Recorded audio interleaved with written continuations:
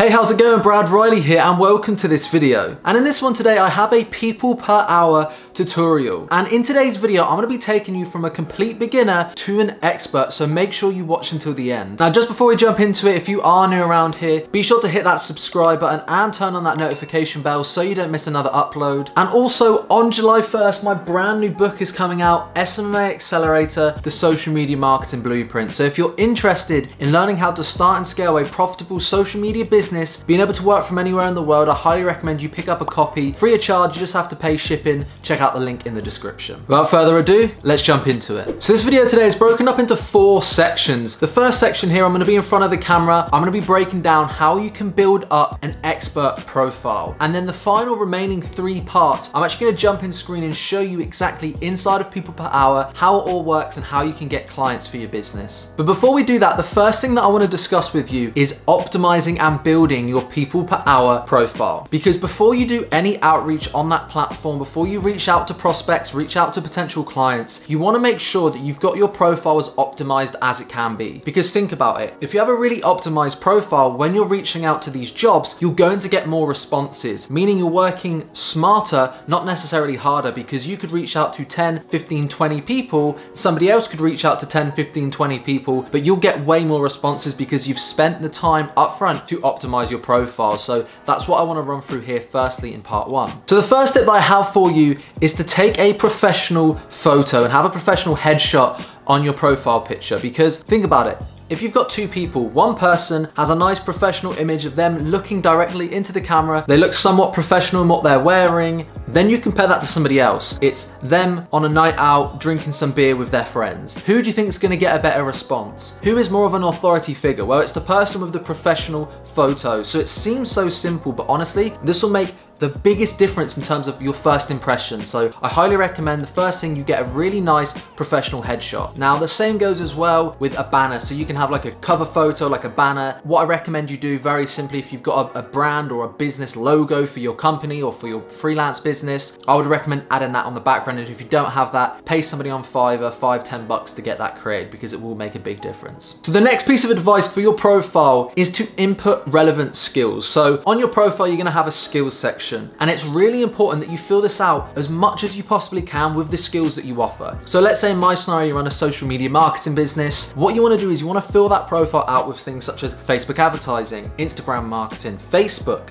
social media marketing, social media management, LinkedIn, Instagram marketing. Like you wanna fill it out as much as possible with all the keywords that people will be searching for if they're looking for freelancers on the platform. Because what this is essentially gonna do, it's gonna help you rank. You know, if you have a keyword or a skill for social media marketing, and somebody comes on looking for a social media marketer and they type in social media marketing, you're gonna come up if you have that skill. If you don't have it in there, you may not come up. It's essentially almost like keyword ranking, okay? So it's really important that you fill out your skills section as much as you possibly can with relevant, make sure they're relevant skills to the service that you're offering. Next up as well is the title of your profile. A few tips here. One, make sure you capitalize the first letter of every single word. You know, I think it makes it look way more professional if you have social media marketing expert and the S SMME are all capitalized rather than all lowercase. It doesn't look very professional. Um, another thing here as well, make sure it's very clear what you're offering. You know, if you offer Facebook advertising services or graphic design services, make it really clear what you offer there. You know, don't just put something like, I have five years experience working for this company as your title. You know, you wanna say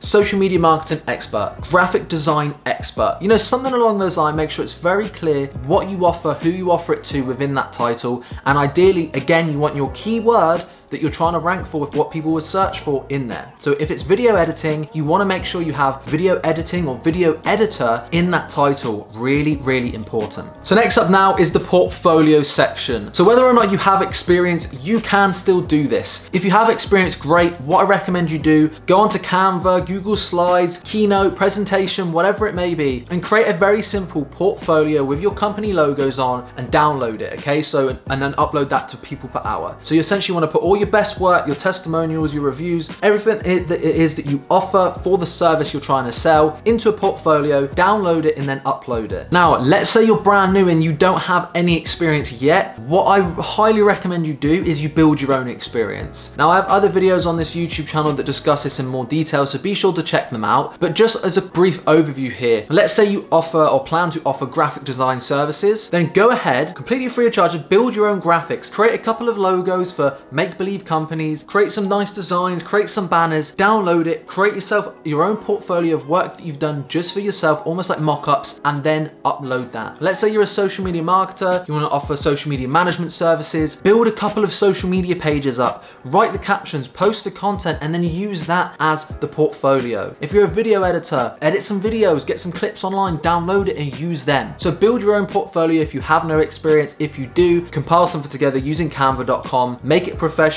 add your company logo on there if you can, download that and then upload that into people per hour. Again, that will increase your conversions. So the final two here, number one, we have endorsements. Now endorsements are really powerful because as long as somebody else has a people per hour account, they can leave you an endorsement. So they can endorse you for a specific service. So this can be really powerful if you know a few people who can create some accounts and endorse you for that specific service that you're offering, it can be really powerful. So, you know, if you're offering Facebook advertising services, if you can get some people to come onto your profile and say, I endorse Brad Riley for Facebook advertising. He's an expert at what he does, really great to work with. And if you can get a handful of people to do that for you, again, it's gonna be a really great way to build up your reviews and your experience without having actually run any clients through the profile yet um, which is a really great way, like I said, to increase your responses and get more clients on the platform. So get endorsements if possible. And then finally, the final piece of the puzzle here, a huge part of the profile is the bio section. Now the bio is so important because essentially this is your big long form written text on your profile. And this is where you write what you offer, any previous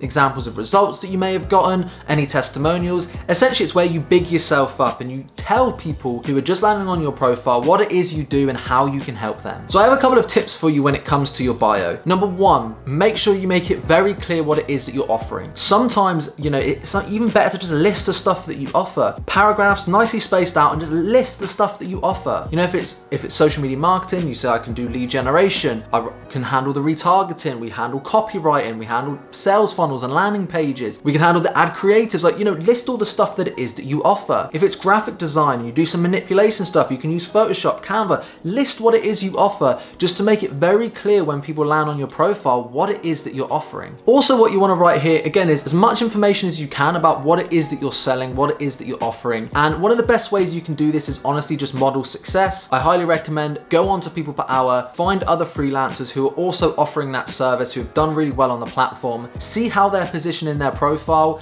and maybe model that a little bit, but tweak it to make sure it's specific to you in your service. That's another really great way as well to build that bio section out. And then finally, in regards to bios, what I recommend is you add social proof wherever you can. Now, obviously this is gonna be a bit harder if you're just starting out to add a bunch of reviews and testimonials and results and stuff into the bio if you don't have it yet. But if you are an experienced freelancer or an agency and you've worked in this business before and you're just looking to tap into people per hour as another lead generation source for your company, then add as much as you can in there in regards to social proof. So reviews, testimonials, if you have any type of fantastic case study or results that you can literally just jam pack your profile full with, that is going to help you get more responses. It's great to say what you offer and, and, how you offer it, but there's nothing quite like saying, here are the results that we've got for other people. You know, here is a testimonial from another client. Enough that's gonna get you better responses than that. So if you do have that experience and you're lucky enough to have a bunch of social proof like that, be sure to add as much of it as possible into your bio. So hopefully by now, if you followed all my steps, you should have a really nice optimized people per hour profile. So what we're gonna do now is we're gonna jump in screen on my computer and I'm gonna show you how you can find the perfect types of jobs and how you can reach out to customers on people per hour. So let's jump in screen. Okay, so now we're in screen. I'm gonna show you some more information on how to find the right jobs and how we can very simply apply to jobs here on people per hour. So the first thing you wanna do when you're logged in and you go to peopleperhour.com is you go to the search bar and you wanna click search projects because this is how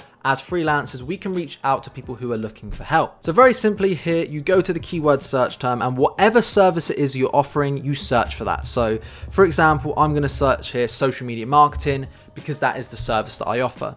So really important tip here straight off the bat that what you have to understand when it comes to finding the right jobs and finding any jobs for that matter is that people per hour is very keyword sensitive. So for example, social media marketing is just one of the kind of keywords within the service that I offer. Another keyword which basically is the same service but can be worded slightly different is Facebook advertising. So if I type in Facebook ad, We've got another 468 jobs come up that are all completely different to the keyword social media marketing, yet it's pretty much the same service. So whether you're offering graphic design, video editing, there's likely several, several different keywords specific to the service that you sell. So make sure you change up that keyword search here. You know, another example for me could be Instagram.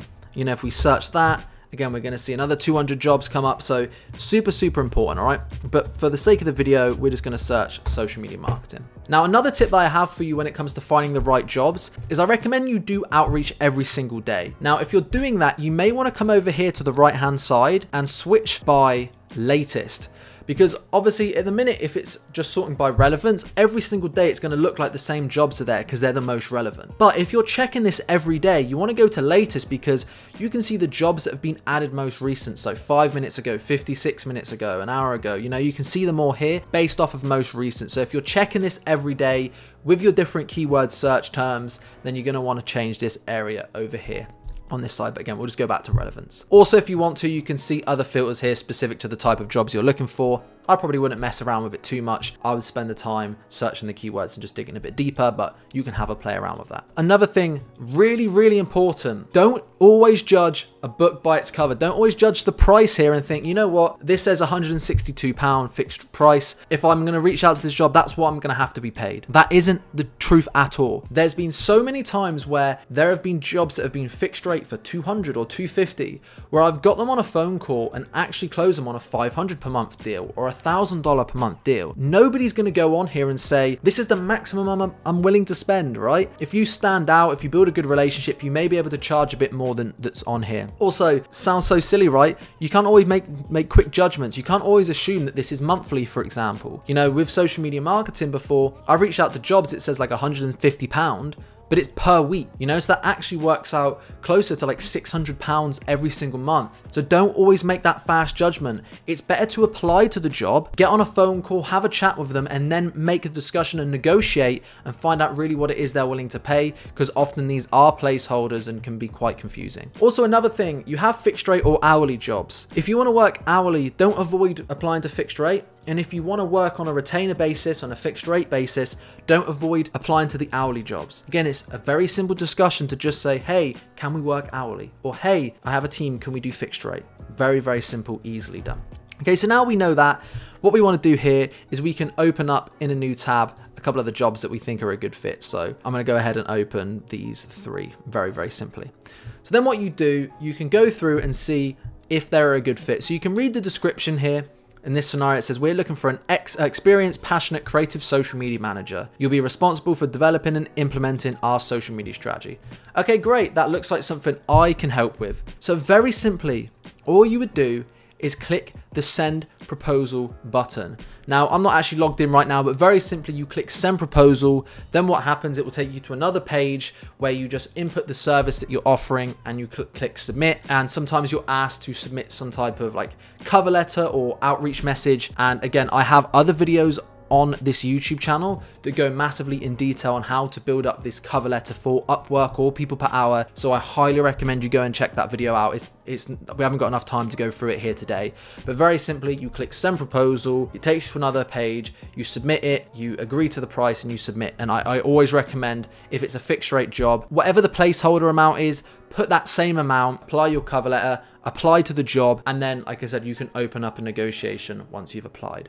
So very simply, that's how it works. Again, we may look at another job here and think, okay, cool, this looks interesting, but they're wanting this, this, and this, and that's not what I offer, so this isn't a good fit. Okay, let's look at this one here. Okay, this all looks great. I will apply, I won't apply. Um, really, really simple. And what I will also say as well, on a final note here, before I jump into the final part of this video, where I show you massively how you can stand out, this is a perfect example because down the bottom here it says you need to have at least this much experience. Two years doing this, three years doing this, three years doing this. But to be completely honest with you, I would just go ahead and say ignore that. Like, apply to it anyway. Because if you can stand out and maybe you don't have three years experience, maybe you don't have a degree, but they ask for it, but you're able to go the extra mile compared to everybody else, there's no harm in at least applying. You've got less chance if you don't apply. The worst they can turn around and say is no. Okay, so apply to it anyway. Okay, so jumping into the final part of this video here today, I want to show you how you can stand out with your people per hour outreach. How can you stand out when essentially all it is that you're going up against other people, you're going up against other freelancers. So what can you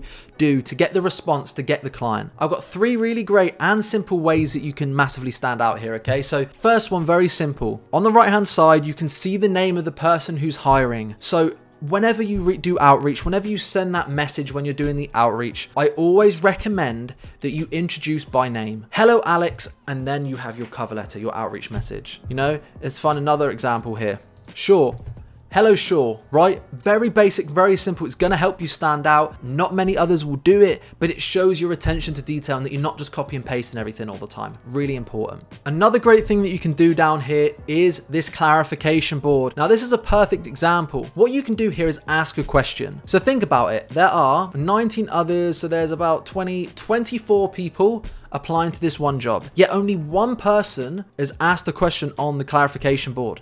What does this do? Well, it helps you stand out. It helps you stand out. One person here has decided to add, ask a question to the clarification board. So when the person who's hiring is going through all of those and they, they rec they'll recognize them straight away because that's the person that commented on the clarification board. So simple. And he's done a great thing. What industry is your client in? What is their current following subscriptions? So just asking some relevant questions specific to the client, to the job description. Ask just one or two questions. It will help you stand out massively and this will help increase your conversions ins insanely to be honest. And then the final thing you can do, very, very easy, but this nothing, nothing that you will do will increase conversions as, as good as this. And that is send Loom videos with all of your outreach. Now, if you're not familiar with what Loom is, essentially it's a Chrome extension and I've got it up here. And if you click it, what it allows you do, to do essentially is it allows you to actually film your screen. So for example, you could just say something like, hey, Brad Riley here. I'm on your job description right now. I notice you're looking for help with graphic design. I'm actually an experienced graphic designer. I wanted to reach out to you and send you this personalized video.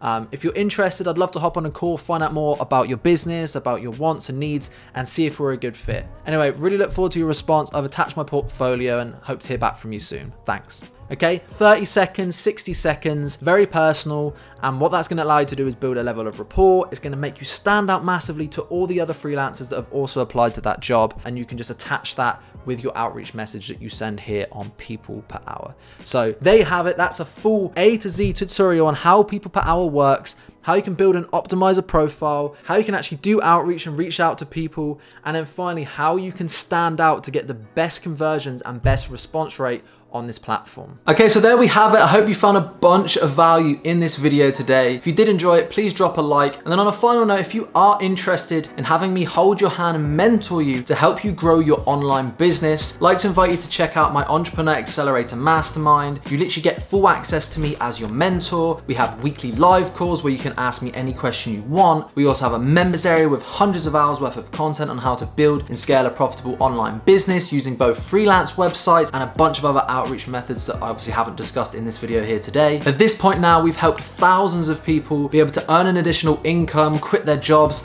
and a bunch of which have even hit six figures online with their businesses as well. So if you're interested, just finding out a little bit more information on how we can work together on a more in-depth level, I'd highly recommend you check it out. It's super low cost, massive high value. So yeah, don't sleep on it. Go check that out. The link is in the description. And then finally, of course, be sure to grab yourself a copy of my brand new book. Thanks again so much for watching and I'll see you in the next video.